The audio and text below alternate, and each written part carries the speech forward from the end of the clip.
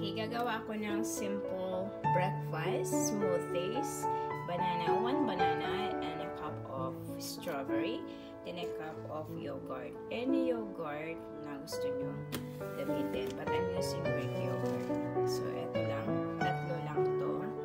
So, ilagay ko lang lahat. Kasi frozen na kasi to eh. You can use also fresh. It's better. Pero wala akong fresh kasi frozen ko na yan. So, ilagay ko lang